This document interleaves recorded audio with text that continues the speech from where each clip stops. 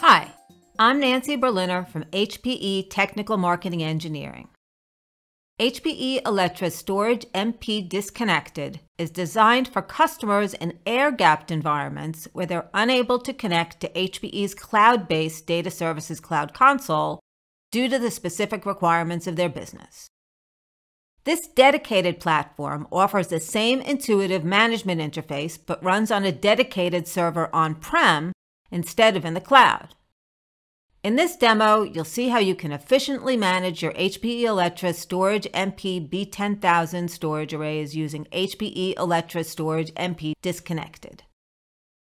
DSCC on-prem has similar tiles as the cloud-based version. You'll primarily use Data Ops Manager and block storage for management, but DSCC also allows you to initialize your system using the setup service, set up dual authorization, and view detailed system tasks, among other things.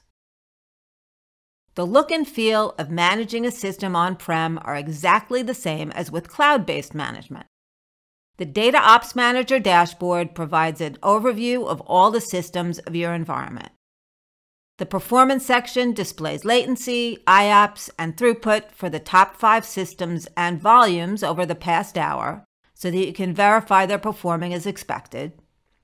You can see the percentage of capacity remaining on each system, plus any issues that have been identified, including new versions of system software that are available. A single instance of Alletra Storage MP Disconnected can manage multiple storage arrays, so let's go look at one of the four that we see here. In the capacity section, you can see total savings from data reduction broken down by reducible and non-reducible data.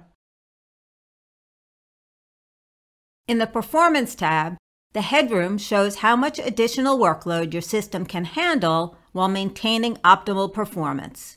And this is broken down by the top five volume contributors. You can create custom charts for specific system metrics like volumes, hosts, replication links, and physical disks. And you can go back to any period of time within the last 30 days to view that high resolution data. The Sustainability tab displays the power usage of the array over time. A question I'm frequently asked by customers is whether they can still transmit telemetry data and alerts to HPE support. That is still an option even for air-gapped customers, since that data is sent using a different transport mechanism than the one used for connection to DSCC. You can configure that in the system setting area by enabling or disabling call home data from the array. A single instance of the on-premises platform can manage multiple storage arrays, including those located at remote sites. Therefore, you can still use DSCC to set up and manage replication. To set up a new replication relationship, you just select the storage arrays you want to replicate between and pair up their ports. You could then go to the block storage area and protect your volume set using any of our replication technologies.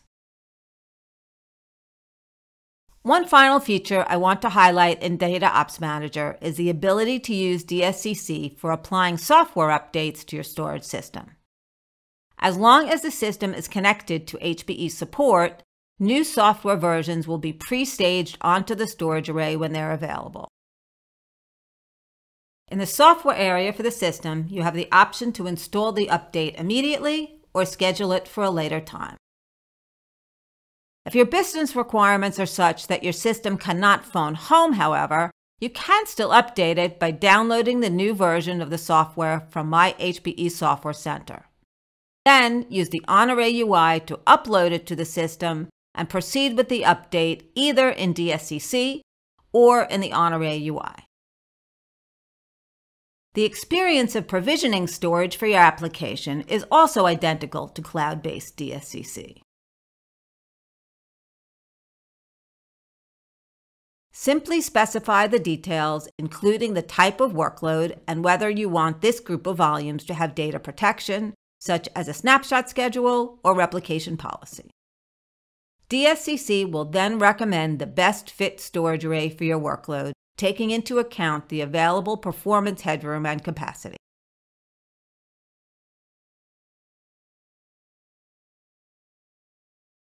Thanks for watching.